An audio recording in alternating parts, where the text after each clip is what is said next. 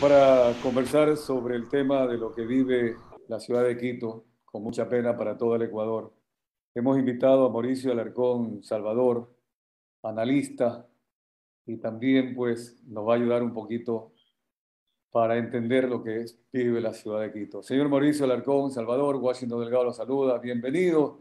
Directamente la pregunta, ¿cómo explicar lo que vive la ciudad de Quito? Muy buenos días. Washington, buen día y un saludo a todos quienes están en línea con Forever. Lo que vivimos actualmente en Quito no es otra cosa que una lucha de egos y de vanidades con el objetivo de mantener el control de la ciudad. Estamos frente a una situación crítica en la que la administración pública se encuentra abandonada durante varios meses en la que los ciudadanos ni siquiera vemos obra pública, la ciudad se está destruyendo cada vez más. Y el tiempo que deberían dedicar nuestro alcalde y nuestros concejales a servir a la ciudad y a los quiteños, lo dedican a sus rencillas personales y a las acciones tanto administrativas como judiciales con miras a quedarse en el poder o acceder en él. Esa es la triste situación que quizá tiene además de situaciones tan indignantes como la del día de ayer, en la que, como muchos habrán visto en media sesión solemne por el 10 de agosto, un concejal, eh, precisamente frente al alcalde, arroja agua y llega incluso a arrojarle el tomatodo en el que el agua se encontraba para en gritos abandonar la sesión en lugar de ni siquiera haberse presentado a ella. Así es que parece ser que los egos incluso no están solo entre quienes quieren quedarse en la alcaldía o quienes quieren acceder a ella, sino también a nivel concejales, lo cual en las últimas horas ha hecho que muchas eh, personas que viven aquí en la ciudad de Quito digan o manifiesten la necesidad de que ya no sea un asunto simplemente de alcalde, sino de que se vayan todos. Claro, esa es la posición, la tercera alternativa, que se vayan todos. Ahora, Mauricio, yo quisiera plantearle algo desde una visión costeña, guayaquileña, guayacense. Nosotros habíamos admirado siempre a la ciudad de Quito por una tradición de gobiernos seccionales realmente de alto profesionalismo, alto nivel. Y el amor del quiteño.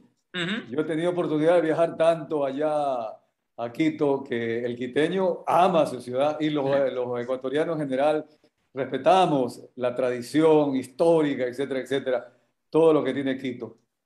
¿Cómo llegó ese profesionalismo en la administración a caer ahora en lo que se ve en esto del egocentrismo, Mauricio, y que nosotros lo calificamos como una eh, inmadurez política? ¿Qué pasó? Eh, ¿Es el modernismo? ¿Influyó el socialismo del siglo XXI? ¿Qué sucedió? ¿El progresismo de pronto? Creo que Washington, el primer factor que afecta eh, la crisis, que genera la crisis en esta ciudad, que no es nueva, ojo con eso, es la proliferación de partidos y movimientos políticos que generan un fraccionamiento del electorado y que permiten el acceso al poder o de quien forma parte de la fuerza gobernista o de quien simplemente logra ganar al siguiente como un voto de diferencia. Como decía, la crisis no es nueva. La crisis empezó, y, los quiteños así lo decíamos, en la alcaldía de Augusto Barrera, cuando ya indignados manifestábamos que después de haber tenido administraciones exitosas, habíamos tocado fondo. Luego vino Mauricio Rodas y nos dimos cuenta que solo nos habíamos topado en el subsuelo y que podíamos caer más bajo una situación crítica, y muchas acciones cuestionadas, incluso sombra de corrupción en la administración municipal. Y en 2019, finalmente, accede al poder un asambleísta de Alianza País, el señor Jorge Yunda, con un margen mínimo, al igual que en muchas otras ciudades del país, por una organización política que, ojo, está a punto de desaparecer según los últimos eh, datos entregados por el Consejo Nacional Electoral, y que además empieza a gobernar al estilo populista y demagógico de anclarse en la condición social, anclarse en la polarización reinante en el país para tratar de capitalizar en beneficio propio. Termina además haciendo una administración cuestionada, con amigos y allegados, donde incluso, como se ha visto, su hijo, sin tener cargo alguno en el municipio, porque la ley lo impediría, termina siendo quien maneja los hilos detrás del poder, junto a un pariente, porque no sabemos si es primo, si es sobrino o qué parentesco tiene, que además ya venía haciendo dupla con el señor Yunda en administraciones anteriores cuando el tema de frecuencias, y que terminan armando un círculo de actos cuestionados que actualmente incluso se investigan por corrupción por parte de la Fiscalía. Así es que todo es una suma de eventos desafortunados que han puesto a esta ciudad, que muchas veces fue modelo, como bien lo decía, al garete, en definitiva, a la deriva, sin, sin una persona que lidere procesos, sin una persona que quiera darle soluciones a los problemas que vive la ciudad. Mauricio Alarcón, Salvador. En el estudio está Luisa María Heredia. Luisa María, adelante con su pregunta.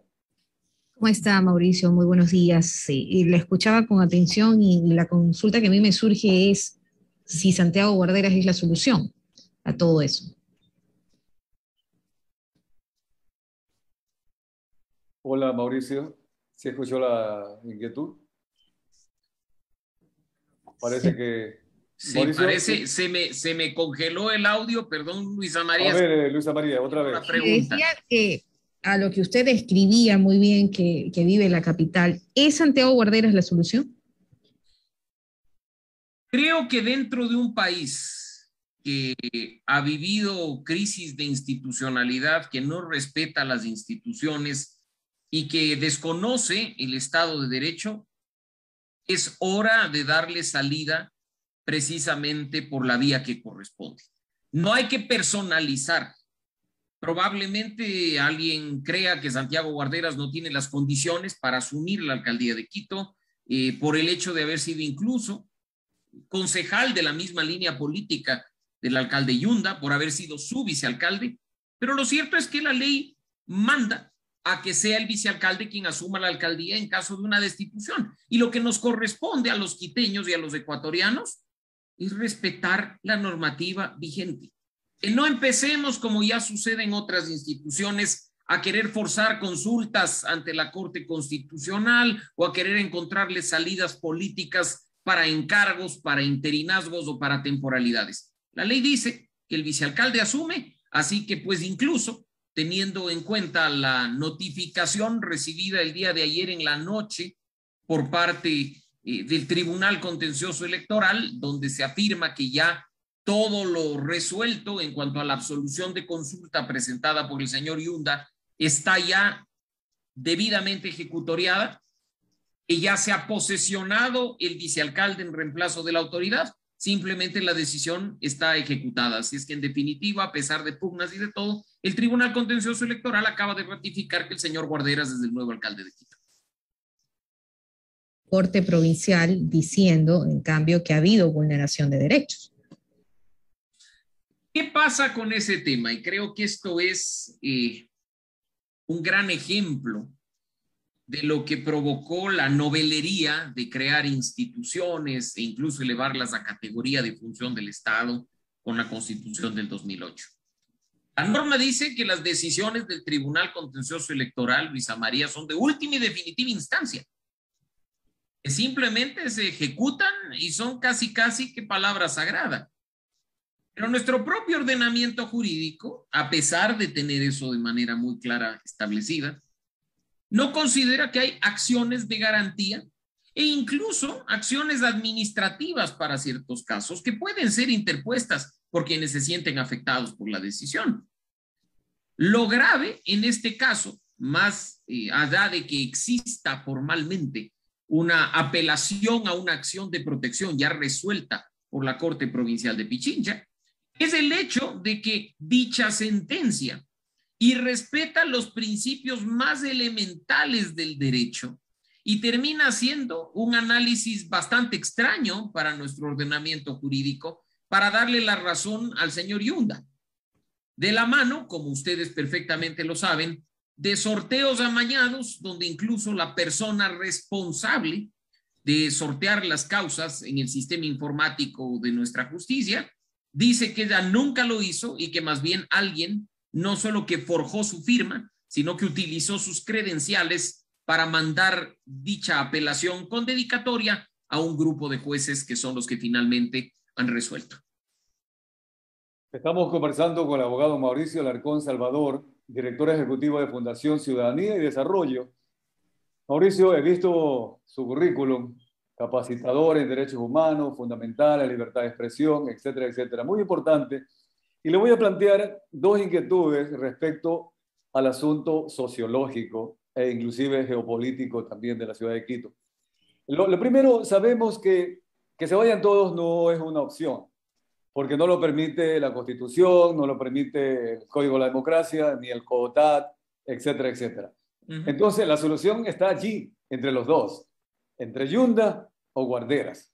Y posiblemente la Corte Constitucional lo va a decir. Pregunto, ¿qué va a pasar con esa ciudadanía que ayer apoyaba a Jorge Yunda diciendo o sea, no le importa lo que pasó en la parte legal, no le importa en la parte que lo están, está con un grillete como alcalde de Quito, pero en fin, no le importa, sino que dice, no, ganamos en las urnas y el pueblo lo respalda. Y otro grupo de ciudadanos que dice, no, no, está bien que haya ganado las urnas, pero no podemos permitir que él siga siendo allí alcalde. Entonces puede darse la situación de uno al otro, que tendrán que tolerar al alcalde que no le gusta.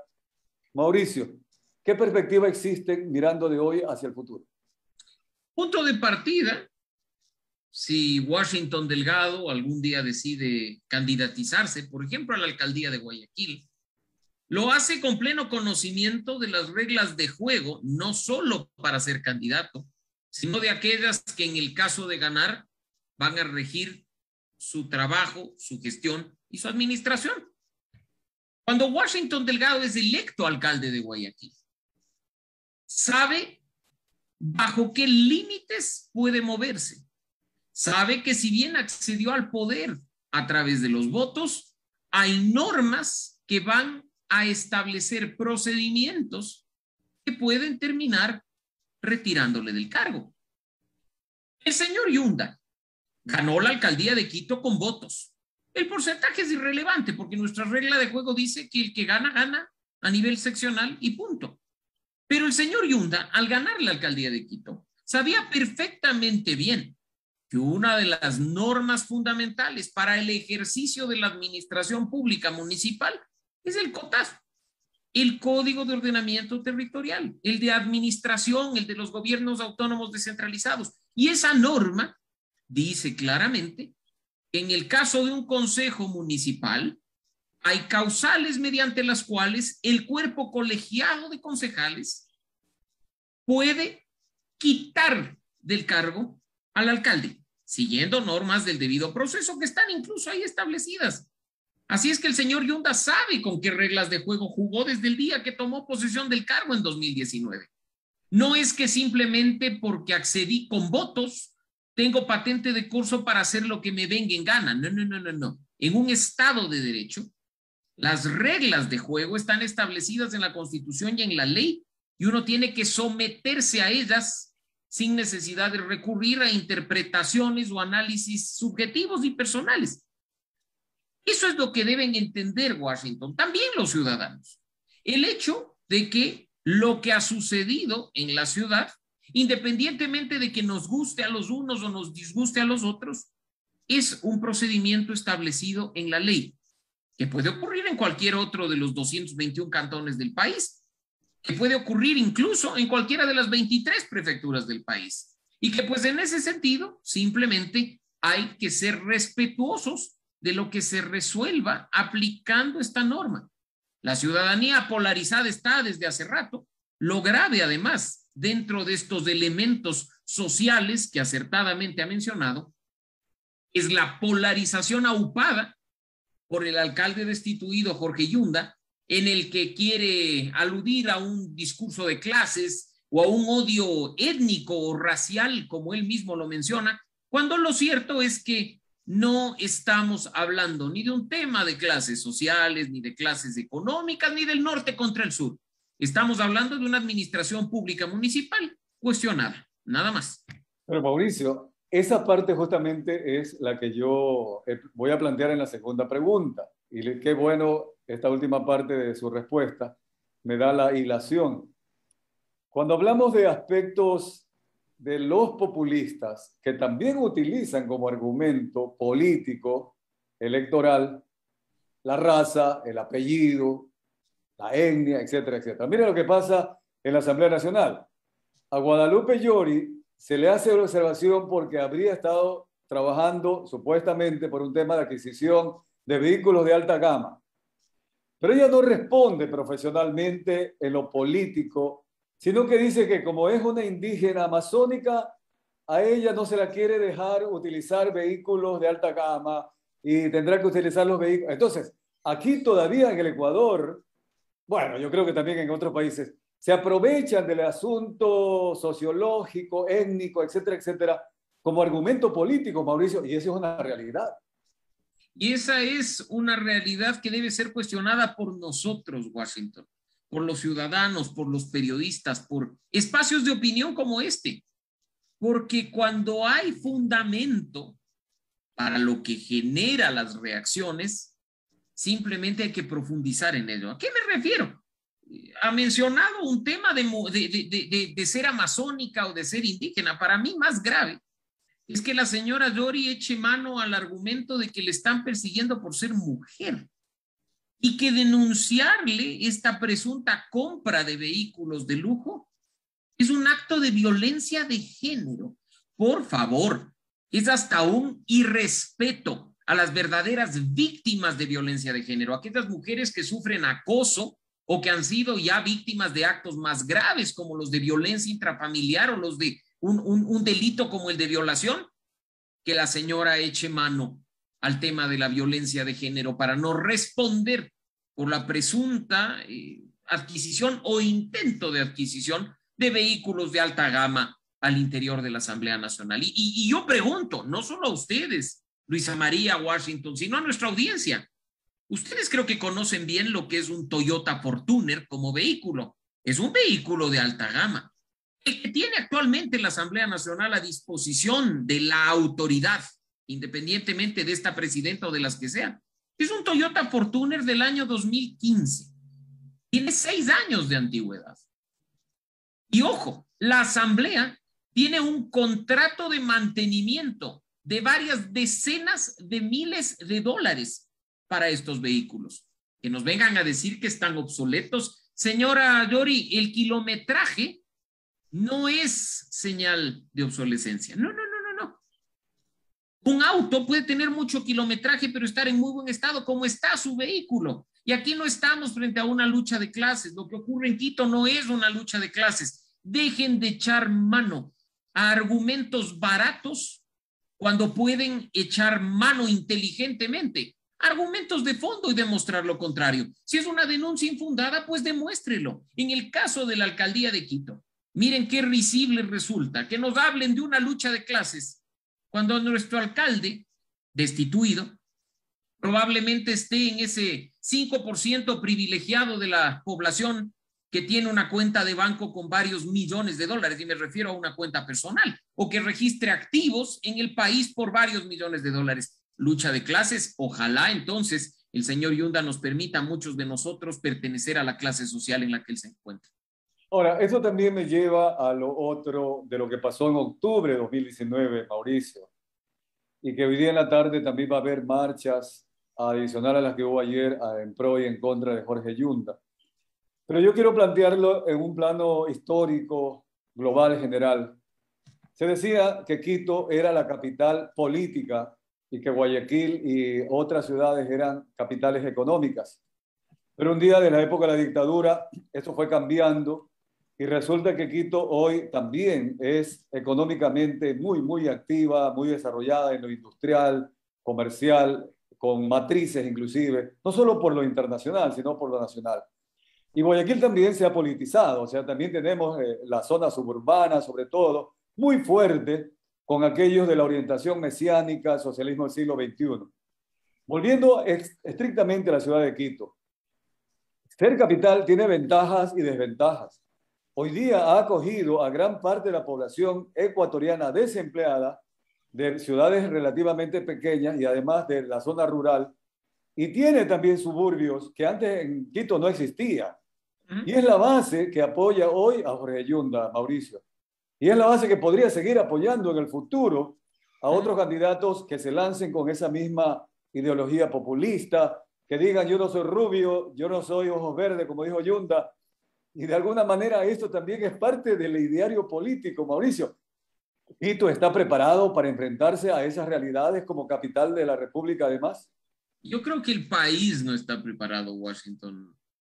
Lamentablemente, mientras haya necesidades insatisfechas, mientras haya problemas no solucionados por el Estado, en quien tantas expectativas tiene buena parte de la ciudadanía, habrá caldo de cultivo suficiente para el surgimiento de propuestas populistas y demagógicas. Ya en la campaña presidencial lo veíamos. Ya en las elecciones seccionales que están a la vuelta de la esquina con seguridad lo vamos a ver. Y yo creo que ni Quito como capital, ni ninguna ciudad o provincia del país debe permitir que se siga polarizando, fracturando y haciendo daño a una sociedad que se ha caracterizado por su unidad que se ha caracterizado por su hermandad, por su trabajo en equipo. Que cuando hay alegrías nacionales se abraza más allá de su ideología o de estar a favor o en contra de determinado personaje político, que arrime el hombro ante las catástrofes naturales y que sabe salir adelante frente a las dificultades. Si nosotros seguimos dando cabida a esos políticos que simplemente se nutren del odio, de la estigmatización, de la polarización. Debemos hacernos responsables al momento que sean electos. Hace muy poco, en, mi cuenta de Twitter específicamente, decía, hagámonos responsables por los asambleístas que elegimos. Hagámonos responsables por los concejales que elegimos. No son seres que surgen por generación espontánea, Washington y amigos. No es que aparecen así solitos porque le echas agua al asiento de la Asamblea Nacional o porque los extraterrestres los pusieron. No, no, no, no. Ahí están porque nuestros votos les entregan un mandato de representación. A nosotros nos corresponde hacer control de su gestión pública. A nosotros nos corresponde fiscalizar como ciudadanos y criticar y levantar la voz. Ellos no tienen un cheque en blanco para hacer lo que les venga en gana. Mira lo que ha sucedido con la asambleísta Rosa Cerda. Creo que la provincia del Napo, o al menos sus electores, sí están bien representados, porque cuando la señora eufóricamente dijo, si roben, roben bien, quienes estaban ahí adeptos a su causa, pues aplaudían furiosos y le gritaban vivas y hurras. Así es que probablemente ahí estemos frente a una prueba viviente de la normalización de la corrupción en los ecuatorianos. Tristísimo, pero es la verdad. Pero al menos, en mi caso, legisladores que aupan la corrupción o que se escudan en ella no me representan, pero tengo que hacerme responsable de aquellos por quienes yo voté y terminé eligiendo y echando mano de las salidas constitucionales o las herramientas que prevé la ley en caso de que quiera revocar ese mandato, de forma que quien sí nos represente pueda ocupar ese puesto. Mauricio, eh, quisiera agradecerte y en la práctica de este gran Guayaquil que conformamos acá, desde Milagro, tenemos Daule, tenemos Zamorondón, tenemos a Guayaquil, Naranjal y otras zonas que nos escuchan. ¿Qué experiencia sacarías ya en, a limpio de lo que vive la ciudad de Quito? ¿Y qué mensaje tendrías para los prefectos del país, para los alcaldes del Ecuador y en la práctica del ciudadano para que esto que vive hoy la ciudad de Quito, ojalá no se replique nunca en ninguna ciudad. El primer mensaje a las autoridades. Gobiernen respetando la constitución y la ley. No crean que por haber recibido votos pueden hacer lo que les venga en gana. Son ustedes los responsables de una buena gestión pública, sobre todo, insisto, respetando el Estado de Derecho, respetando la democracia, entendiendo que ustedes se deben a la ciudad y a sus habitantes, a la provincia y sus habitantes o al país. No se deben ni a sus financistas, ni a sus familiares, ni a sus amigos. Y por otro lado, el mensaje a la ciudadanía. Hace miles de años, Platón nos decía que el precio de desentenderse de la política es el ser gobernado por los peores hombres. Si seguimos creyendo que la política es exclusivamente para los políticos, si seguimos sin comprender que nosotros como ciudadanos debemos hacer política y que tenemos que no limitarnos a acudir a las urnas a votar, sino a exigir, a reclamar y aplaudir cuando corresponde, simplemente seguiremos siendo gobernados por los peores hombres y las peores mujeres. Asumamos la responsabilidad de la democracia representativa y la elección, pero también la responsabilidad de la democracia participativa y de la ocupación activa de espacios a favor de nuestra localidad o de nuestro país. Así es que ciudadanos despierten, el activismo de teclado es simpático, pero mientras no se haga sentir la fuerza de la ciudadanía, difícilmente quienes nos gobiernan van a escuchar y van a tener en cuenta nuestros criterios. Bien, yo les deseo éxito a los quiteños. Desde Guayaquil les damos un respaldo que salgan adelante. Hemos conversado con el abogado Mauricio Alarcón Salvador, director ejecutivo de Fundación Ciudadanía y Desarrollo. Muchas gracias, Mauricio. Gracias, Washington. Gracias, Luisa María, y un gran abrazo a la audiencia de Forever. Muy amable. Vamos al